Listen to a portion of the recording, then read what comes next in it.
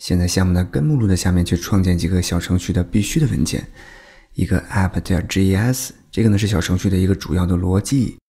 ，app 点 json 是小程序的主要的配置文件，再创建一个 app 点 wxss，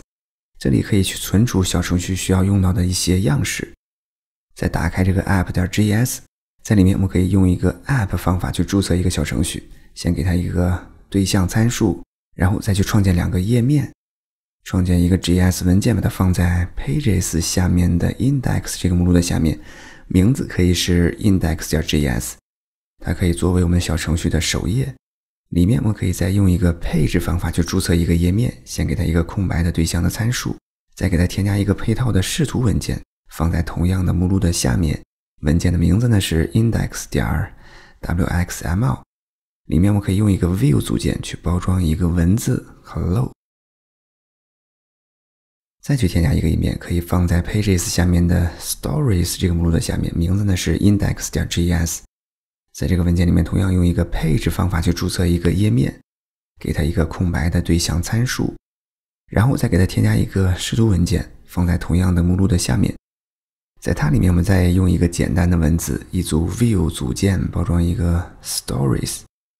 在打开小程序的主要的配置文件这个 app 点 json 里面，我们可以先用一个 pages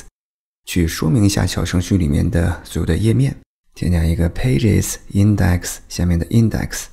再添加一个 pages 下面的 stories 下面的 index 这个页面，它们就是刚才我们创建的这两个空白的页面，然后再用一个 window 属性去设置一下小程序的窗口的样式。里面我们可以先用一个 navigation bar title text 去设置一下小程序的导航栏上面的那个文字“您好，汽车”。再用一个 navigation bar background color 去把这个导航栏的背景颜色设置成白色。再添加一个 navigation bar text style 去把这个导航栏上面的文字的颜色设置成 black。就是黑色，在下面我们再去添加一个 tab bar 这个属性，